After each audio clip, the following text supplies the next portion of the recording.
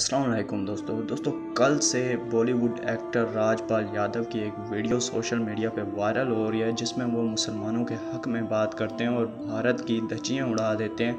आखिर क्या था वो वीडियो बयान, मैं आपको ज़रूर सुनाऊँगा, लेकिन उससे पहले अगर आपने हमारा चैनल सब्सक्राइब नहीं किया तो चैनल को सब्सक्राइब करके साथ मौजूद बेलाइकन को दबा लें, ताकि आने वाली हर नई वीडियो का नोटिफिकेशन बाकायदगी से आप तक पहुँच सके।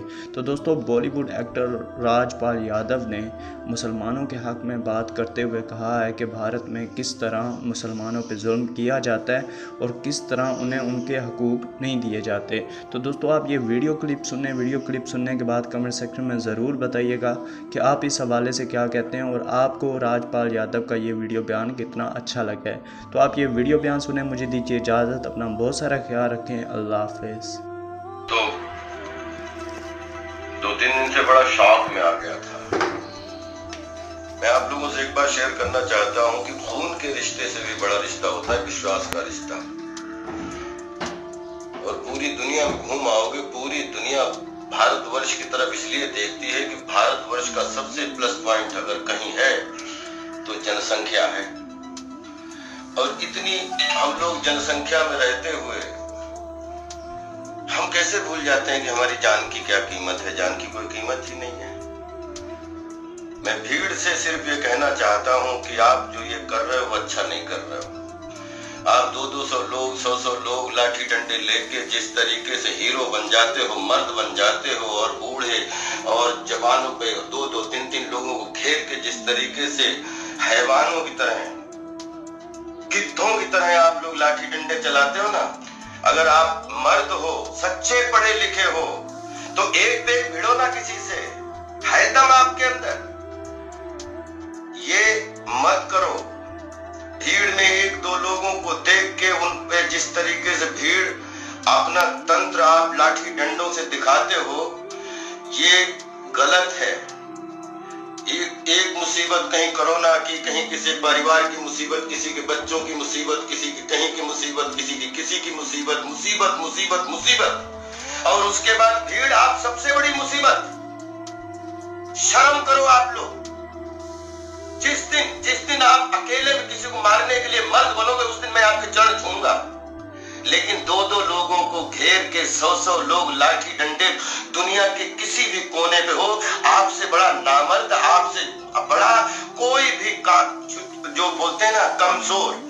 आपकी कमज़ोरी की निशानी है, आप एक परसेंट लोग नहीं हो पूरे भारत में, और पूरे भारत को विश्व के सामने शर्मसार कर देते हो। ऐसी ऐसी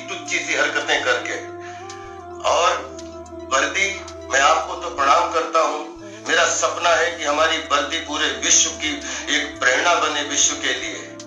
लेकिन हमने अपनी ज़िंदगी में घटनाएँ बहुत देखी, लेकिन तीन दिन में मुझे शौक इस बात का लगा कि ये पुलिस वाला किसी का हाथ पकड़ के भीड़ को कैसे दे सकता है। मतलब ये विश्वास खत्म हो जाएगा, तब तो कोई किसी भी विश्वास नहीं करेगा। जब कोई किसी भी विश्वास नहीं करेगा तो समझ लो हमारा और आपका सबका फेस्टिवल मनाते रहिए। मुसीबत को भी फेस्टिवल में ले जाइए, इसको भी फेस्टिवल में ले जाइए, जितने त्योहार हैं उनको भी फेस्टिवल में ले जाइए, मुसीबतों को भी फेस्टिवल में ले जाइए। लेकिन ये याद रखिए कि विश्वास एक दूसरे के प्रति बनाए रखिए। विश्वास मत तोड़िए। जिस दिन विश्वास टूट जाएगा ना, उस दिन हम भीड़ में कितने भी रहेंगे, लेकिन सब एक दूसरे से डरे हुए रहेंगे। और अगर एक दूसरे से डरे हुए रहे तो फिर कोई फ्यूचर नहीं है हमारा।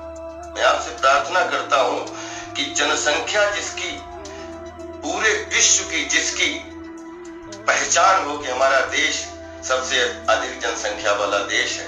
और वो जनसंख्या, एक एक जनसंख्या दूसरी जनसंख्या ऊपर किस तरीके से टूटती है, मत करो ऐसा। कम से कम जंगल में जानवरों से हमें सीख लेना चाहिए कि कबीले में रहते हुए एक दूसरे का अपना अपना सब सिस्टम फॉलो करते हैं। प्लीज़ प्लीज़ ऐसा मत करिए।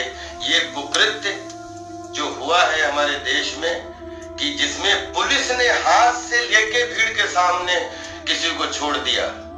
वो किसी भी परंपरा के, किसी भी कपड़ों के लोग हों, कहीं के भी लोग हों, छोटे, बड़े अमीर, गरीब, लेकिन जान की कीमत करिए, अन्यथा आपकी जान की वैल्यू खत्म हो जाएगी पूरे विश्व में।